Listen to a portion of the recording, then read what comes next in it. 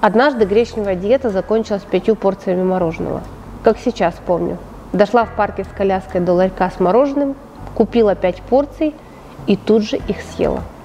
Ужасное состояние, когда после съеденного ощущаешь сильнейшее чувство вины и не понимаешь, что это нормально –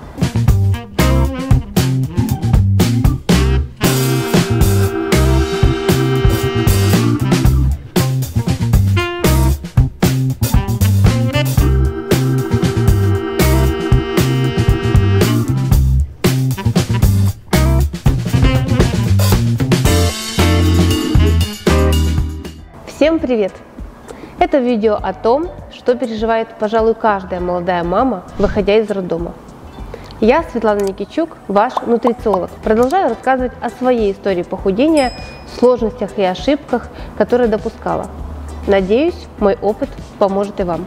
Итак, в 18 лет я выхожу замуж и вскоре узнаю, что стану мамой. Забеременела я с низкого веса 55 килограмм. Набираю за беременность, как в книжке, 12 и легко сбрасываю после родов. Так легко прощаюсь с весом, потому что наступает сложный в эмоциональном плане момент в моей жизни. Когда дочке было два месяца, я переживаю развод. И на стрессе опять вешу 55, при росте 173. Это дефицит веса, но я себе безумно нравлюсь. Когда все более-менее успокаивается, я начинаю жить для себя и ребенка, работать. Вес растет и колеблется 58-62 килограмма в зависимости от праздников. Новый год, Пасха, все самые сытные праздники. Но при этом я активно занимаюсь спортом и тренирую. Кардио, шейпинг, танцевальная аэробика. Я была достаточно привычна к физическим нагрузкам и вес не реагировал на них. Если я жестко следила за питанием, вес был 58. Как только отпускала ситуацию, он был 62 килограмма. В 25 я влюбляюсь по уши, мне нравятся мои 58 и торчащие костяшки. Но я очень хочу угодить мужу, готовлю вкусные ужины, лазанью, постоянно что-то пеку, и вечерние посиделки становятся привычными. Мы до сих пор любим посидеть и пообщаться. Мы с мужем одноклассники и смеемся, что у нас каждый вечер встреча одноклассников. И, соответственно, вес начинает расти. Мы поженились осенью, а уже зимой я заметила, что вешу 65 килограмм а это плюс 7. А весной я узнала, что мы станем родителями. Это была прекрасная беременность, муж заботился обо мне на 10 из 10. Я ела, что хотела, отдыхала и, к удивлению, чувствовала сильнейший голод, которого не было в первую беременность. Мне безумно хотелось углеводов, булочек, которых я никогда не ела. Да, я была сладкоежкой, любила шоколад, сгущенку, но булки я не ела никогда – всю вторую беременность я ела булочки, конфетки, ромашка. И вес, естественно, рос, и в три месяца был 70 килограмм.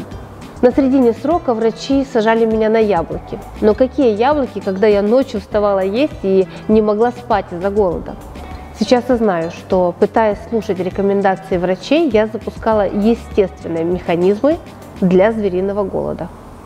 К девятому месяцу весила 96 килограмм. В роддом я зашла как дирижабль. Успокаивала себя. Ничего страшного, это всего лишь ребенок и вода. Рожу, и вес быстренько станет прежним, как и в прошлый раз. Тем более вернусь к тренировкам, и я же умею голодать.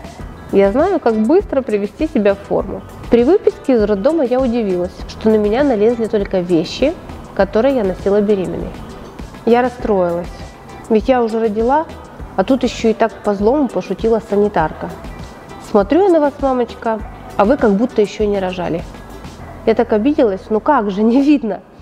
А дело в том, что я не оценивала себя объективно.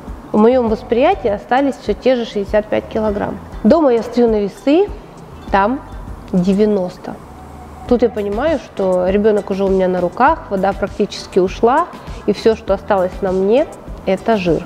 У меня была сильнейшая депрессия, когда я боролась за каждый лишний килограмм. Я испытывала просто леденящий страх, потому что у меня никогда не было такого огромного веса. Я как будто оказалась в чужом теле. Вспоминая свои ощущения тогда, до сих пор покрываюсь мурашками. Благо у меня хороший муж, который меня сильно поддерживал и подбадривал. «Ты хорошо выглядишь», — говорил он мне каждый день.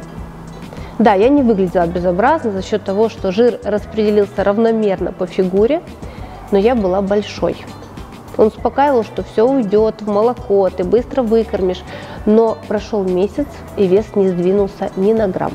Как-то гуляя с ребенком, встречаю знакомого, который шутит, что раньше меня весь город знал как фитнес-тренера, а теперь об этом и не скажешь. Мне стало так больно внутри, что я поняла, надо срочно что-то делать. К этой ситуации накладывается вторая. Со свекровью купаем малыша в ванночке, и муж снимает этот трогательный момент на камеру. Я пересматриваю видео и понимаю, что проблема есть, и она на мне. Ситуации плюсуются. Я вижу огромную спину, торчащие уродливые бока, толстые ноги и принимаю решение не ждать ни минуты и сажусь срочно на очень жесткую диету. Парадокс стоял в том, что, будучи фитнес-тренером, я не знала, как похудеть. Знала про физические нагрузки, а, но про рациональное и сбалансированное питание я не знала ничего, да и взять информацию об этом негде было. На строжайшей диете начинаю худеть. Но у меня наступает очень быстрая адаптация к одной диете, потом ко второй, к третьей. Вес быстро останавливается. Опять же, на тот момент я не знала, что остановка веса – это нормально что ничего страшного, если он стоит одну-две недели. Но, как и многие женщины, я начинаю паниковать. Меняю тактику на более жесткую. Начала я с того, что ела 9 ложек фитнес-хлопьев в день, залитых разбавленным молоком.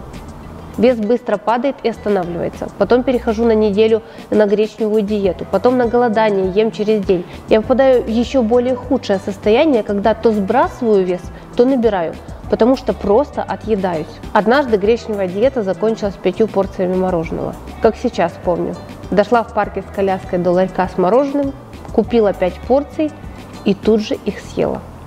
Ужасное состояние, когда после съеденного ощущаешь сильнейшее чувство вины и не понимаешь, что это нормально. Потому что невозможно идти против физиологии, а нужно просто экологично подойти к своему организму. Без террора и без насилия. Вся эта история стязательства над собой длилась долго. Я добилась своего. Я все-таки снизила вес с 90 до 70 килограмм. Заработала расстройство пищевого поведения, резистентность, а проще говоря, устойчивость ко всем диетам, как физиологическую, так и психологическую. Похудеть ниже 70 килограмм я ни на чем больше не могла. Диеты не работали, либо я просто не могла их придерживаться психологически. Я смирилась с тем, что мои толстые, как когда-то казались 62, я уже даже не говорю о 55, мне недоступны больше никогда. Дальше складывается так, что мы переезжаем в столицу. Я иду работать в фитнес-клубы. И чтобы консультировать клиентов, я начинаю изучать диетологию. Не столько по работе, а сколько ради себя. Потому что тренировки мне уже не помогали, диеты не срабатывали, а мне очень сильно хотелось понять, как же можно мне помочь. Изучая диетологию, понимаю, какие ошибки совершала, что так как делала я, категорически нельзя худеть. Я узнаю, что такое рацион, достаточное количество белков, жиров, углеводов, что а, они бывают разные, сложные и быстрые, что такое инсулин, режим питания, какая роль их в снижении веса. И я начинаю худеть, всего лишь питаясь 5 раз в день достаточно и полноценно. Сразу скажу, что я не верила во все это, потому что у меня не срабатывали даже самые жесткие диеты. А тут обещают ешь и худей. Кто бы мне тогда сказал, что я запущу курс с таким названием, и он будет иметь такой успех и до сих пор востребован. За пять лет его существования я даже изменила название из «Ешь, учись, худей» в «Нутрициологика», потому что программа курса больше, чем о похудеть. Она о реальной жизни и помощи в тех условиях, в которых вы находитесь. А они могут быть совершенно разными у каждого.